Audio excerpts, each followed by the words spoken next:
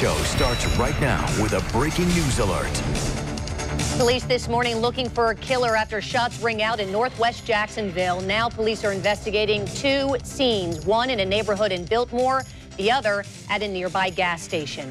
Hello, everyone. In the last 30 minutes, that Texaco gas station just reopened for business. We first told you about the shooting in a push alert from our News4JAX app early this morning. Since, police tell us someone walked up to a car on Amazon Avenue and started shooting.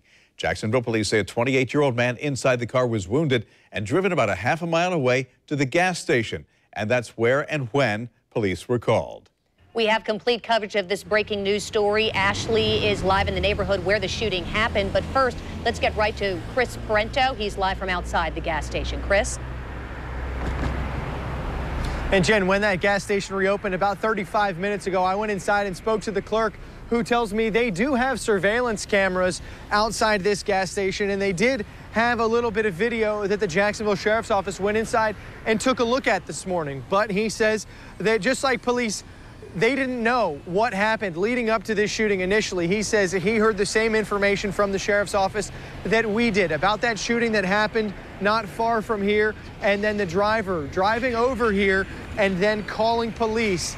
The man in the back of that car taken to UF Health where he died.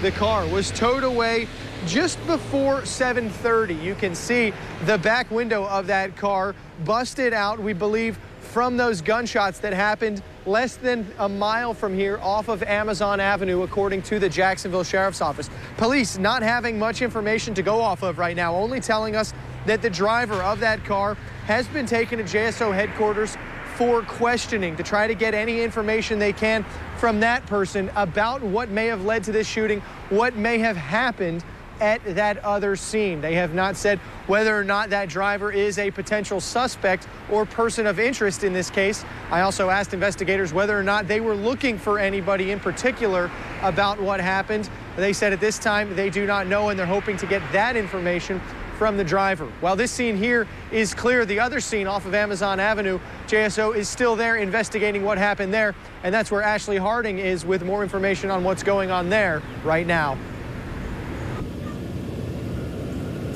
Yes, Chris, good morning. It's a very active scene. Right now, police are not releasing the name of the man who was shot and killed here this morning, but we are on Amazon Avenue right now. You can see crime scene tape is up. Several crime scene markers are there on the ground, as well as CSU vans.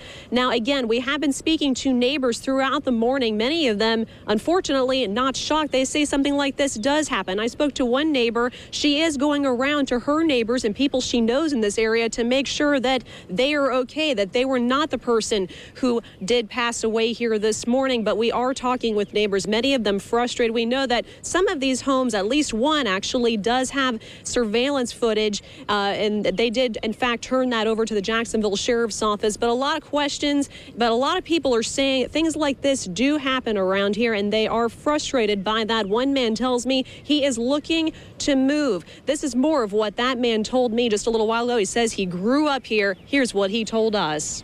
This neighborhood's not the best at all. I've lived in here my whole life. It's it's just an everyday thing. People see it and they keep right on walking because it's it's what happens.